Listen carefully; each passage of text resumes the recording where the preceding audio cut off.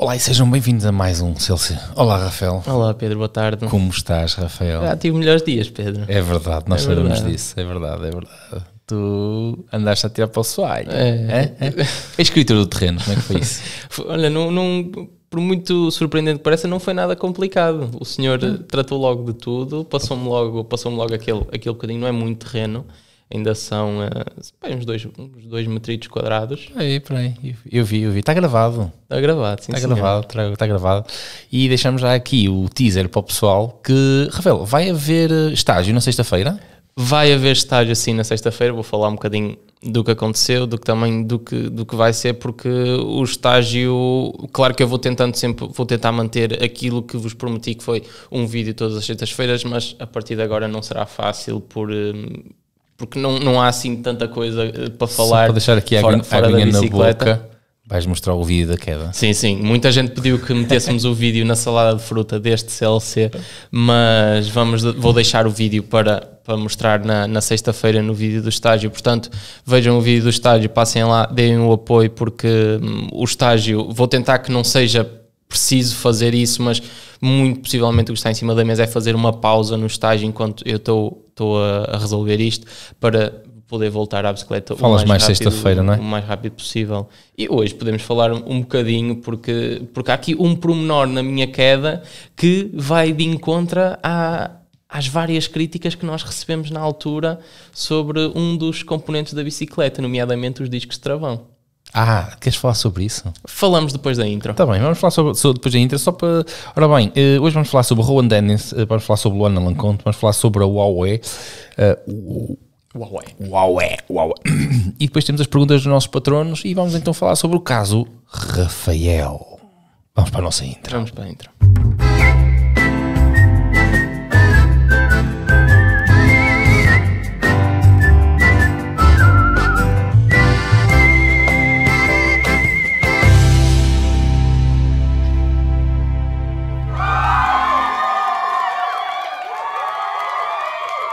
Estas malucas, estas malucas. Obrigado, meninas. Obrigado. Agora só seguem que o Rafael está neste estado e não consegue dar conta de vocês. Portanto, eu vou ter que tratar disto sozinho. Calma, ok? Calma. Que já tenho alguma idade e eh, faço o mesmo que ele, mas demora um bocadinho mais, ok? Porque eu gosto de qualidade. Ora bem, então ba- basicamente é, é isto. O Rafael está Sendo- empenado. Exatamente. Sendo muito direto, partiu o pulso no, no treino de sala da academia. Foi uma Foi só o pulso, não é? Da- Daquilo, Foi só, o Foi só o pulso. pulso. Pensámos que tinha sido mais. hum, mas, mas pronto, partiu o pulso. O vídeo vai estar disponível eh, na sexta-feira. Se quiseres, Pedro, deixa aqui a imagem que eu coloquei no Instagram só para. Só para deixarem o pessoal de água na boca com, Pronto. com, o, meu, com o meu capote valente. Ok. Foi uma queda, não, não digo que foi estúpida, eu estava a tentar demonstrar algo aos miúdos. eh, Eu ainda não quis dizer nada sobre isso, nem me manif- manifestei, não é? Para tu Foi- não ficar chateado comigo. Foi- eu mas- estava a tentar demonstrar um, como passar um obstáculo aos miúdos que estavam presentes. No caso, foi, era um salto em curva e eh, ia demasiado devagar. Acontece que quando a roda levanta do chão, tenta, eh, quer logo pousar, eu viro e, eh, e pronto, ainda, ainda foi uma queda. Basicamente, tu Algo- mostraste uma aula, não façam isto. Exatamente. Não façam isto em Não, casa. não façam isto. Tem que, tem que dar, tem que agradecer muito a todas as pessoas que, que me enviaram mensagem, porque eu partilhei no, no meu Instagram. Mas muito, muito, um obrigado muito especial a todos os membros da academia que estavam presentes, que me ajudaram, especialmente ao, ao Joaquim Ribeiro, que, que me ajudou tudo, eh, levou-me para cima. Foi, foi impecável o Joaquim e a toda a gente que estava presente no local. eh, trataram todos bem de mim também. Que remédio é que tinham, porque eu é que sou o treinador deles, depois cascava neles quando, quando voltar. Eh, para já, o diagnóstico que tenho é. hum, Três meses, dois a três meses de, de pulso com gesso, pelo menos, é, é algo complicado porque me limita bastante no que toca hum, não só de bicicleta, mas por exemplo, não tomar banho é chato, Pedro. É, é. Pá, vamos falar sobre a questão, vamos abordar aqui outra questão e depois falamos sobre a questão do disco. Ou seja, no final, antes de passarmos às perguntas dos patronos, vamos voltar aqui a uma questão que foi polémica durante muito tempo, muito, muito polémica. E criticaram-nos, chamaram-nos criticaram-nos, nomes. Tivemos gente exatamente. aí a bater à porta do gabinete. Pedro é um burro. Não, Pedro não sabe o que diz. Não, Pedro não sabe o que diz. Pedro não sabe o que diz. Há uma quantidade enorme de bestas por aí fora, não é? Que andaram a fazer vídeos para o YouTube e o caraças, não é? Mas nós vamos falar mais para a frente sobre isso. Sim, porque agora disse, é difícil por não Ah. tomar banho e as pessoas pensam, como é que tu não tomas banho se estás só com gelo? Porque és um badalhoco estás a, Pois, eu já vou dizer porque é, que, porque, é que, porque é que é difícil e eu não posso tomar, tomar banho, não posso tomar banho normal para já. Caríssimos, entretanto, vou só fazer aqui um, um- um breve que ultimamente não temos falado, mas os nossos patronos são absolutamente fundamentais para nós. Ahm, nós, neste momento, temos, temos o, o equipamento todo, neste momento estamos a, juntar aqueles bocadinhos que os nossos patronos nos ajudam todos os meses. É para que vocês perguntam? É para nos ajudar a criar o estágio que vamos ter no Campeonato Nacional, levar os miúdos ah, fora, sem que tenham que pagar. ah, a estadia, os alojamentos, as alimentações e tudo, é para isso que nós estamos ah, ah, aqui a juntar. Pá, vocês, vocês que contribuem todos, todos os meses hum, são fantásticos, coisas pequenas. Nós não conseguimos retribuir com conteúdos exclusivos com, da, da mesma forma, francamente eh, é isso. Mas é, é difícil eh, conciliar a parte profissional com isto. É mesmo difícil porque isto eh, acaba por ser um prazer que nós temos. eh, e que muitas vezes roubamos tempo a outras coisas para podermos vir aqui fazer as nossas palhaçadas e os nossos bitites e, e isso tudo. Mas uh, muito obrigado. Os nossos patronos uh, também viram esta semana o, ma- maquete final, a maquete animada do, do, do equipamento de 10 anos, não é? Nós não estamos a conseguir fazer à velocidade que nós gostaríamos, como eu disse precisamente nesse post no Patreon. Uh, nós estamos a fazer à velocidade possível. Nós atrasamos na, na decisão que seria o equipamento final, não foi? Exatamente. E depois nós há sempre timings há prazos para produzir os equipamentos, eh, seja qual for o fabricante, os timings são, são sempre muito, muito apertados. E, e uma das vantagens que nós temos eh, com quem nós trabalhamos é precisamente eh, connosco, tem-nos facilitado imenso os timings, às vezes fazendo o impossível. Ninguém, ninguém é perfeito, nós não somos perfeitos, as pessoas não são perfeitas, mas a verdade é que tem sido um, um parceiro incansável a tentar sempre desenrascar-nos da- está para breve da melhor forma. Pessoal, está para breve. Nós neste momento já tivemos a maquete final do fabricante. Estamos à espera que ele nos ligue a dizer os dois primeiros jerseys estão prontos. Rafael, tu não vais poder vestir o jersey. Neste Agora que eu estou a pensar, porque a manga não passa aí nesse, no gesso. Não- e não te vou deixar arrebentar com uma manga. Não, porque me estragaram os calções. Rasgaram dos calções. Rasgaram-me dos calções. Cala-te. Queres continuar? Queres continuar? Queres contar, queres contar No tudo? final, no final. Pronto, pronto. Pá, basicamente basicamente é, é, é, é sobre isso. E perdi-me o que é que estava a dizer. O que é que estava a dizer? Ah, o jersey, o jersey.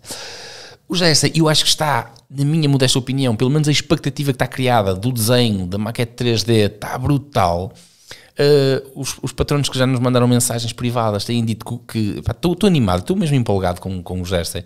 Acho que vai ficar uh, fantástico.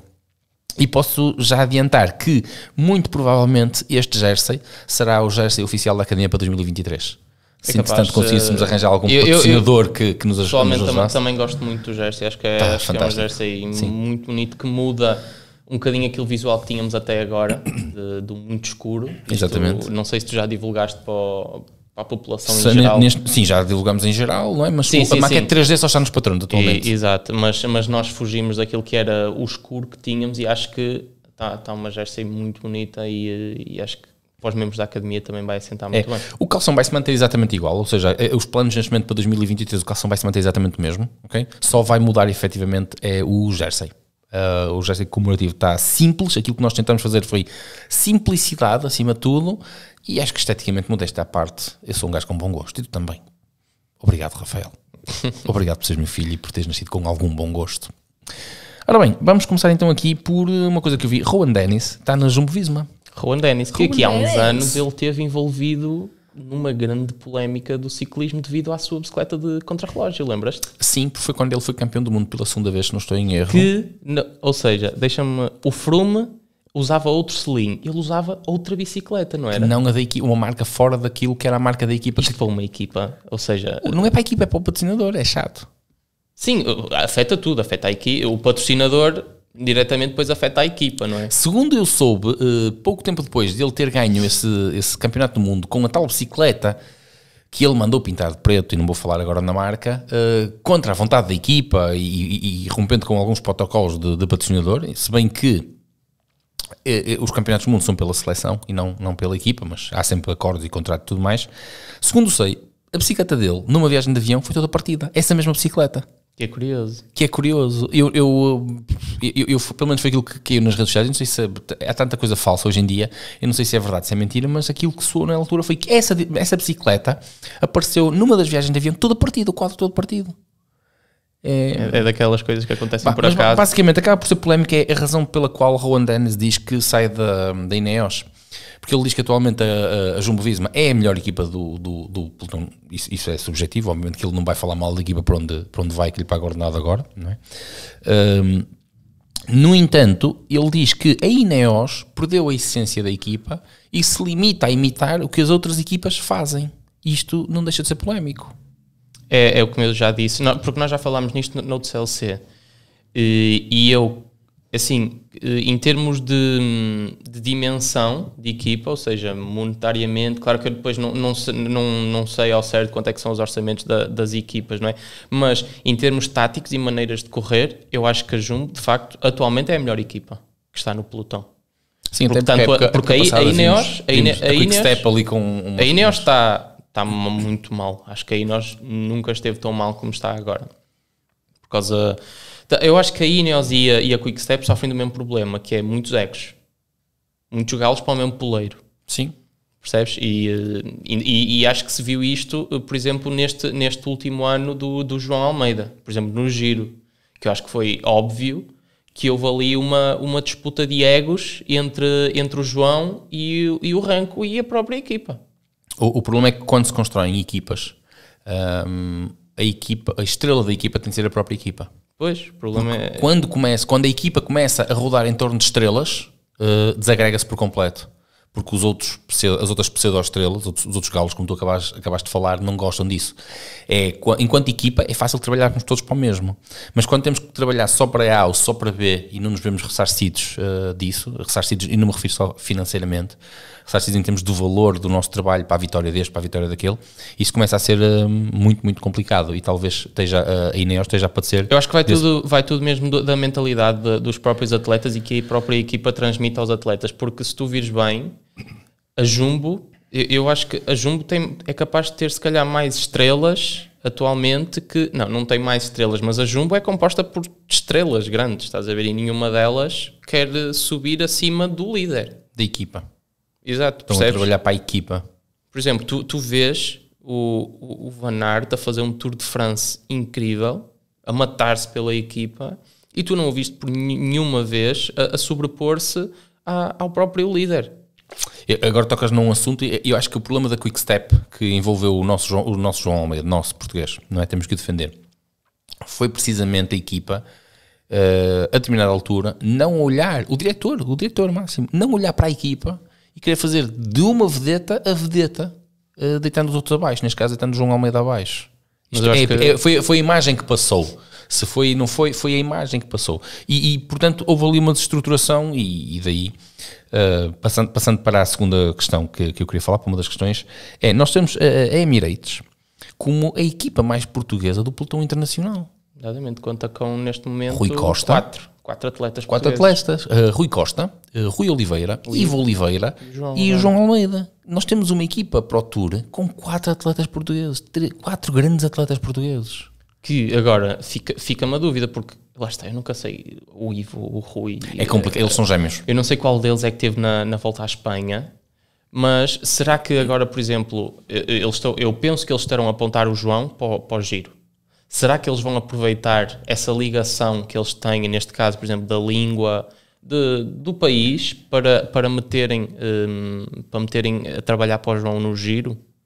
Eu, eu francamente acredito, acredito que sim. Acredito, Eu acho, que- eu acho que seria interessante. Claro que depois há aquela coisa de, ok, podem estar muito bem, mas se não tiveres nível para estares a trabalhar, estás, a trabalhar ponto. para aquele nível, Exatamente. Porque, porque tu tendo um atleta como o João, provando que o João já provou, não é? Tu queres atletas que não estejam no giro para a participação ou para aparecer nos primeiros 15 km. Tu queres atletas que têm um nível para levar o João à vitória, Exatamente. correto?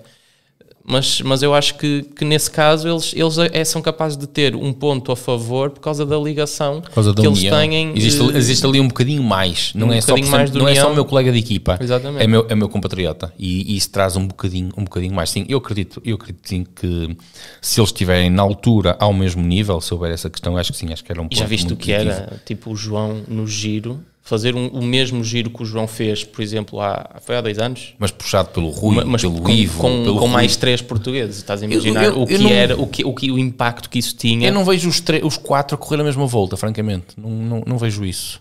Acho, acho Tam- Também não me parece, porque isso era estar a tirar lugar a outros atletas que têm, que têm dizer, muito valor na equipa numa também. equipa completamente, Sim, num- sim, numa sim. grande volta como mas, mas eu estou a dizer, 50% estou a dizer que, que seria muito interessante ver isso, e, hum, mas também não acho que, que, que, por exemplo, tenham todos um nível para. Atualmente não, não tenham todos um nível para, para fazer isso, porque lá está, eu não sei qual é o Ivo ou o Rui que, que regressou agora de, de lesão. Na- Eu acho que foi o Rui. Não- mas, posso estar, mas posso estar Nunca enganado. sei, portanto, está assim um É como se segue, segue os dois e, e anda sempre ali a saltar de um lado para o outro. Ah, uma coisa também interessante é que eu li que o Rui Costa, eu gosto imenso do Rui Costa, não sei porque, mas eu gosto imenso do Rui Costa. Tenho uma enorme simpatia por ele, acho que é um, um- enorme atleta, é um enorme ser humano. O Rui vai ser apontado como um líder para, para o Tour do Ormã e para outro que eu também li. E, um, e- e gostava de vê-lo a fazer um, um- brilhante papel, como também nunca, nunca nos deixa ficar mal ah, nos lugares que tem feito tantos anos seguidos. Tem exatamente o e eu acho que ele é mal mal hum, interpretado pelo o adepto do ciclismo que veio do futebol que é que é o adepto do ciclismo que veio do futebol quer sempre a vitória ah se não ganha não é o maior Mas e não, percebem que ele é um atleta ver do- o que é fazer para aí que é 4 anos seguidos, 5 top 10 no, no campeonato, nos campeonatos do mundo. dois eh, campeão do mundo uma vez não é e depois dois anos seguidos top 10 assim Não, sim, acho que foi décimo- mais- décimo- mais- décimo lugar. não não mais- foi foi dois anos que eu lembro dois anos seguidos Sei que este ano ele não fez, este ano que passou ele não fez. Eu acho que ele é um atleta brilhante, é um atleta extremamente consistente, é um atleta Hum. focado e eh, eu gosto imenso. Pá, se vocês não gostam de paciência, é a minha opinião, eu sou fã do Rui Costa. E, e era uma pessoa que eu adorava ter aqui, não sei se é possível, mas era uma pessoa que eu adorava trazer aqui. Não me parece que seja uma pessoa inalcançável. Agora, agora nesta fase da carreira em que ele está, ou seja, continuando a correr eh, a este nível, é, é complicado apanhá-lo porque, porque nós sabemos, nós conhecemos o nível a que esta malta anda, sempre, sempre de um lado para o outro, tem, são, é pessoal muito complicado de, de chegar. Mas acho que numa altura mais, mais para a frente, quando isto acalmar, Eu agora até me assustei, Rafael, porque tu disseste, é malta complicada de apanhar, eu não tenho pedal para este pessoal. eu não tenho, só de scooter. Só, só de scooter, a fazê-los meio fundo para eles. E eu era gajo para, para conseguir apanhá-los. E, mesmo se assim, calhar- e mesmo assim e, e não podia ser 50 centímetros cúbicos. Não podia, senão- não, não podia, porque a cilindrada deste pessoal é muito, muito superior. Olha, entrando aqui na, na questão, e, e já começando aqui a responder a uma das perguntas que nos foi colocada, Luana Lanconte trocou de equipa. É verdade, foi, foi, foi não foi. A Canyon eh, lançou uma nova equipa. N- Há uma nova equipa que se abastece na Canyon. Eu vejo que, ou seja, não é uma equipa oficial da Canyon, é uma equipa patrocinada pela Canyon. São coisas diferentes. Ok. Pensei Como- porque, porque Imagina, tu amanhã eh, crias uma equipa, ok? E vais buscar a Canyon. Como, por exemplo, uma coisa que eu vi, eh, a equipa, a, a ex-Trek Pirelli, do, eh, do atleta do, Vlad. do, do Vlad Ascalu, passou para, Que para passou a equipa para- de fábrica. Willier, eh, ele passou para a equipa de fábrica da Trek. O Vlad passou para a equipa de fábrica. É que agora é Willier Pirelli, mudou de bicicletas. Sim, eu vi um, vi um atleta, um, um sub-23 que eu sigo também, um suíço, que, que anda lá no meio, mas é, o Vlad passou para a equipa de fábrica da Trek. Fantástico. Foi um grande salto Eu, para eu, ele. acho, eu acho que ele Também fez um- acho que, é, acho que é uma aposta óbvia. Acho que qualquer Sim. equipa que não apostasse nele era estupidez. Eu, eu acredito piamente, não sei se vocês estão a ver quem é Vlad Ascalu, ele já foi campeão do mundo sub-23, já veio correr a Romeno, Portugal. romeno, não é? Romeno, já veio correr a Portugal eu acho que ele tem tudo para poder vir a ser campeão do mundo. Foi terceiro na Taça do Mundo dos Estados Unidos. O- A questão é que voltamos outra vez à consistência. Ele foi um atleta consistente a época toda, quer no short track, quer na, na, na prova de XCO. Eu, eu nem digo que ele foi consistente, eu digo que ele tem vindo a melhorar de prova para prova. consistente na- na- a subir na tabela. Brutal. E, e passou ali um bocadinho despercebido, lamentavelmente despercebido, mas eu acho que ele é um atleta brilhante. Eu acho que ele passou despercebido por, por ser romeno, em primeiro lugar. Não é de uma seleção forte, tu descartas logo. exatamente. Se ele fosse suíço, já estava toda a gente a dar no Claro, olho dele. exatamente. Depois, por, hum, por ter subido sub-23 para, para a Elite há relativamente pouco tempo, embora tenha sido campeão do mundo de sub-23. Sim, mas há sempre um desfazamento muito grande de sub-23 para os elites, que os sub-23 Porque tu sobem, levam no, curta, levam no corpanzil ali no normalmente tu, tu, tu, quando tens o sub-23, tu nem, tu, quando tens um elite, tu nem sabes se ele foi campeão, campeão mundial o ano anterior. Por exemplo, o Gaze, o Sam Gaze, quando subiu, tinha sido campeão mundial no ano anterior. Sim. O Vlad foi campeão mundial antes de subir, não é? Mas depois passa para ali, como depois o andamento é outro, primeiro que eles cheguem lá à frente, é, é complicado. Olha, mas pe- pega aí na questão que para aproveitarmos, falamos aqui da Luana Lanconte, que eu acho que é é uma questão interessante. Fizeram-nos uma pergunta em relação à- Luana e eu gostava de. Mas a pergunta não tem bem a ver, não é bem a ver com a Luana. Não, é a relação com. A pergunta é do Benjamin Nand que nos pergunta. A Luana Lanconte assinou pela Canyon. Mudar para uma marca de topo traz, na vossa opinião, mais vantagens pelos equipamentos à disposição ou pela qualidade de treinos, alimentação e outros itens fora da bicicleta? Eu acho que é a estrutura, toda a estrutura, traz, traz mais valias. Uh, porque quando um atleta, que, por exemplo, vou falando agora, uh, vou falar na Luana Lanconte, como podia falar, por exemplo, de uma Raquel Queiroz, de uma Ana Santos. Luana estava tá na Massi. Está na, na, na Massi, exatamente. Quando um atleta deste assina por uma equipa com peso, ou seja, uma equipa que, que nós sabemos que tem orçamento, supostamente tem orçamento, em que não vive ano a ano, neste caso, ela, ela, o projeto que eu vi já é preparar para Paris, segundo eu percebi. E tem ali três anos de, de como é que eu ia te explicar? De conforto. De assim, independentemente dos meus resultados, os meus objetivos são os Jogos Olímpicos. E eu não preciso estar aqui a fazer ano a ano, que no fundo é os projetinhos que nós temos em Portugal, é ano a ano, não é? Portanto, eu acho que há toda uma mais-valia. Não é só por causa do. Quando nós falamos em equipamento, nós pensamos sempre na bicicleta. Ah, ela assinou por uma época, uh, Canyon vai ter melhores bicicletas. Ora, nós vimos que ela com a, a, a, a Massi fez um brilharete e era supostamente uma bicicleta de terceira linha, chamamos-lhe assim, correto? Aqui em Portugal. Não sei, por acaso não sei geometria, é que... A própria geometria da bicicleta, se formos analisar aquilo... Mas se, mas se fores ver isso, a, a Tomos se calhar vai pelo, Tomos, me, exatamente, vai, vai pelo mesmo exatamente, caminho. E tu, tem, e tu tens o Flukinger que, que ganhou a Taça do Mundo. Exatamente.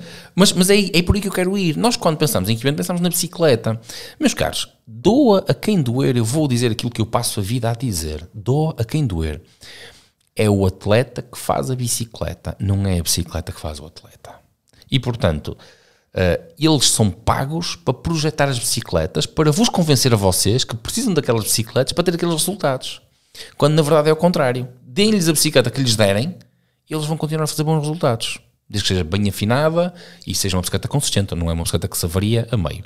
E eu acho que a mais-valia dela assinar por uma equipa destas tem a ver com a qualidade do treino, com a paz de espírito de saber que tem 3 anos para trabalhar direitinho, que vai ter acesso, se calhar, a, a, a, melhores técnicos, ou se não for acesso a melhores técnicos, que os técnicos que já trabalham com ela podem dedicar-lhe outra atenção.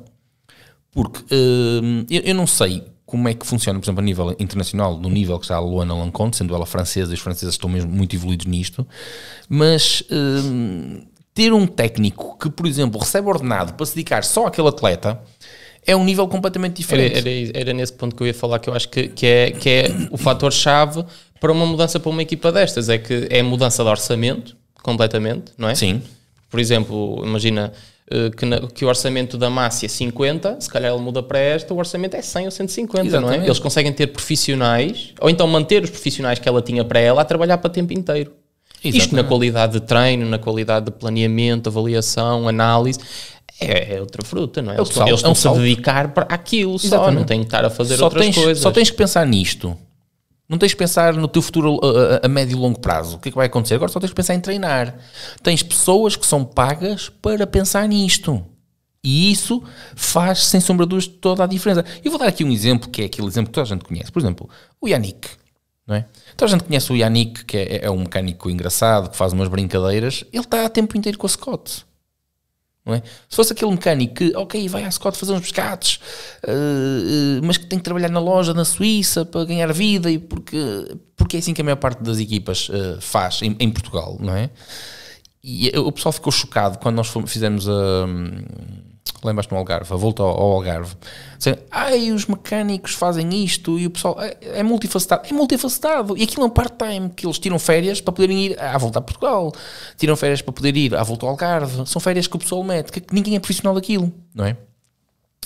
E nas equipas uh, de BTT internacionais, eles têm profissionais só para se dedicarem àquilo, não é? Nós temos, por exemplo, vamos, falamos no, no falamos no, esqueci-me, na Ineos, e nós tivemos o Pitcock, que se falou à boca cheia, que ele teve a oportunidade de, de, tirar uma semana, não foi uma semana, uma semana de trabalho, com um staff de 4 ou 5 pessoas, só para escolher a bicicleta e afinar a bicicleta. E, e os componentes todos. E, os, e, poder escolher, eu quero correr com aquilo, eu quero correr com aquilo outro. Obviamente que isto... Há vídeo no YouTube disso. Não tira qualidade ao atleta, pelo contrário. Ele já é bom. Quando está àquele nível, as milésimas contam. Claro. Não é? E o facto de ele ter aquele staff em volta dele, obviamente que ajuda, não é? Hum, é, pá, e é um bocadinho. Agora, se me disserem, ah, ele anda com uma, uma Canyon uh, que tem uma geometria melhor, se calhar vai ser um bocadinho mais rápida. Se calhar não é tanto a Canyon, é o staff que ela vai ter por trás dela a- para ajudá-la a afinar a Canyon.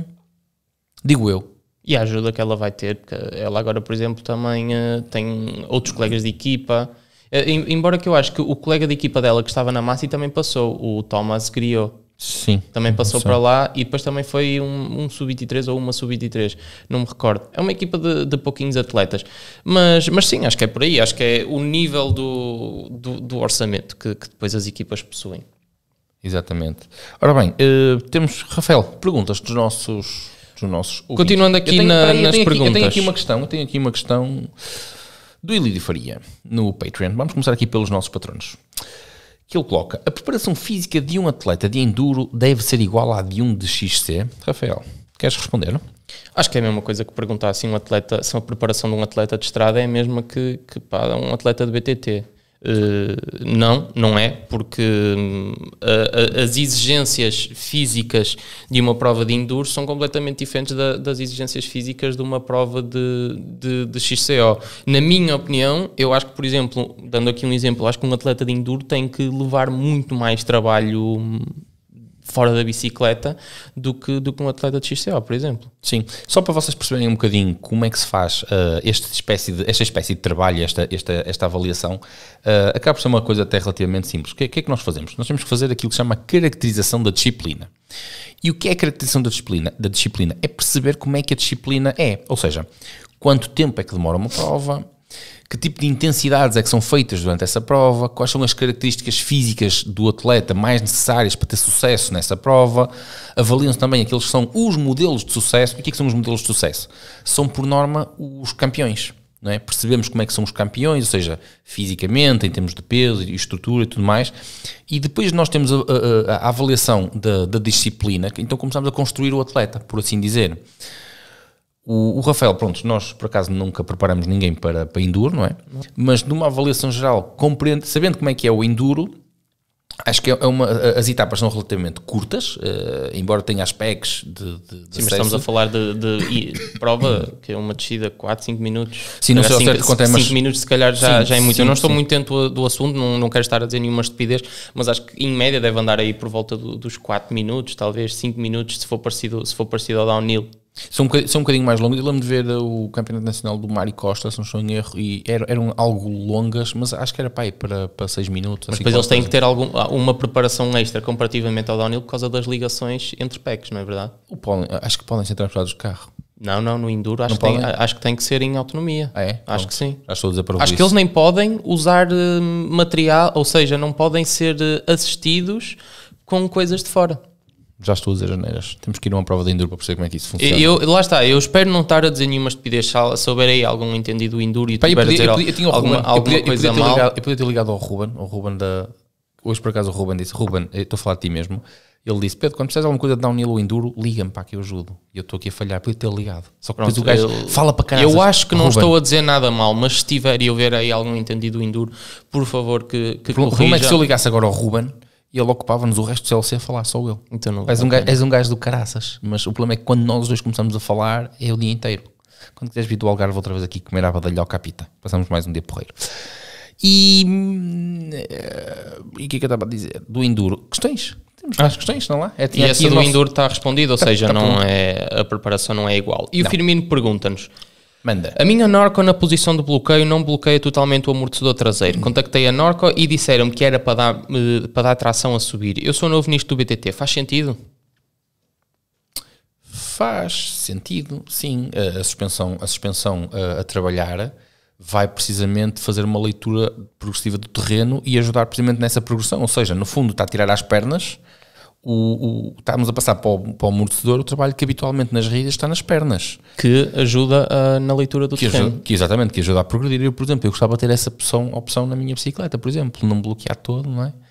Que era para. Mas, para eu, mas eu, acho, eu acho que elas funcionam um bocadinho assim, as nossas. Eu acho que quando elas estão muito abertas é que é demais. Mas eu acho que quando elas estão bloqueadas, elas ainda estão com, esse, com essa semi-leitura. Ainda assim, eu vou seguir o, o conselho do Filipe e vou meter os. Como é que se chamam? Os tokens, é verdade. Muita gente, muita gente disse, deu esses conselhos. Exatamente. Depois de já. Ou seja, eu lancei o vídeo no estágio.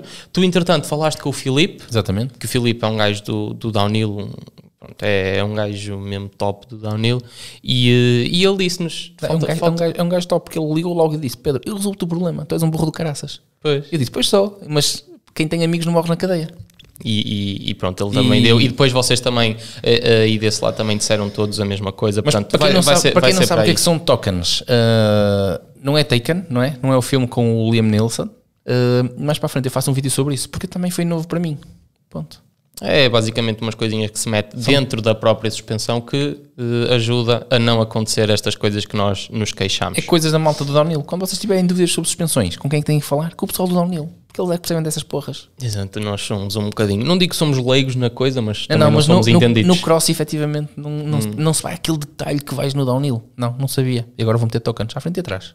Vai ser a fartazana. E agora passamos para a pergunta do Carlos Pereira, que vem em seguimento de, do ciclocross. Anda. Que nos pergunta que característica tem que ter uma bicicleta para competir no ciclocross. Segundo li nos regulamentos, eh, podia ser quadro de BTT com forqueta rígida, pneus não superiores a 1.5 e o guiador até 500 mm. Aqui a dúvida pode ser, guiador de BTT, não se vê muitas bikes com este estilo híbridas nas competições de ciclocross ou elas são mesmo proibidas? São proibidas.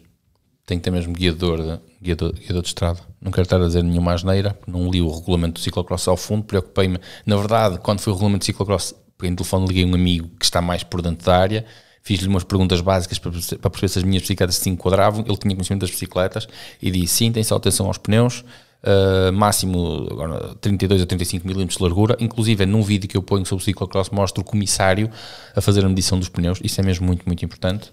Um, depois, sim, uh, não, pode, não pode ter suspensões e tanto quanto sei, o guiador tem que ser mesmo guiador, uh, guiador de estrada. Pode ser V-brakes, uh, neste caso pinças, como nós costumamos chamar, ou discos, que são perfeitamente admissíveis.